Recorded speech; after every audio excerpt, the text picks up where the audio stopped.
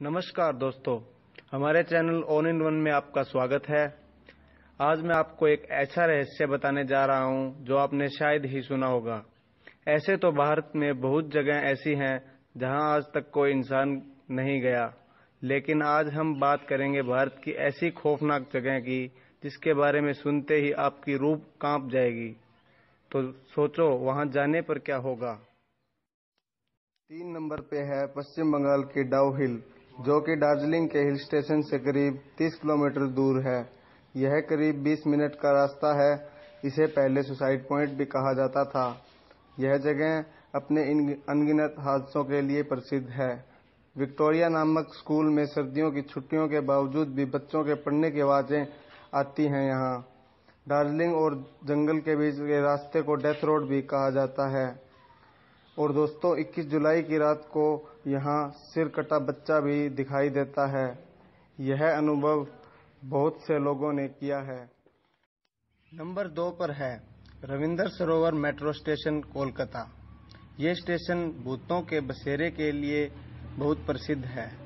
इस स्टेशन पर अब तक 5000 से ज़्यादा मौतें हो चुकी हैं। लोगों का मानना यह है कि आत्मा यहाँ आमतौर पर घूमती रहती हैं और रात में यहाँ अनजानी आवाज़ें भी सुनाई देती हैं। यहाँ पर लोग आने से डरते हैं। इन घटनाओं के कारण सरकार ने अब इस प्लेटफॉर्म को बंद करवा दिया है। नंबर एक पर है भानगढ़ का भूतिया किला। यह एक शरापित किला है। यहाँ सूर्योदय से पहले और सूर्यास्त के पश्चात इस किले के आसपास बिल्कुल भी न घूमें। ऐसा माना जाता है कि किले के आसपास भूतों का बसेरा है। भारत के पुरातत्व विभाग ने इस किले को संरक्षित कर दिया है। इस किले का निर्माण 1573 में राजा भगवंत दास ने करवाया था। यहाँ के क्षेत्रीय लोगों ने यह भी बताया है कि रात के समय यहाँ डरावनी चीखें भी सुनाई देती हैं।